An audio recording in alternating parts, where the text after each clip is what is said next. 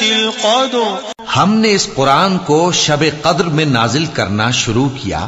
وما أدراك ما ليلة القدر. اور تمہیں کیا معلوم کہ شب قدر کیا ہے؟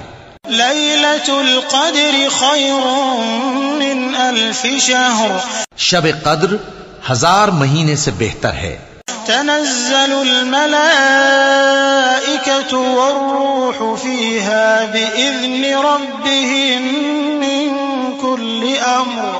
اس میں فرشتے اور روح القدس ہر کام کے انتظام کے لیے اپنے پروردگار کے حکم سے اترتے ہیں۔ سلام هي حتى مطلع الفجر. یہ رات طلوع فجر تک امن و سلامتی ہے۔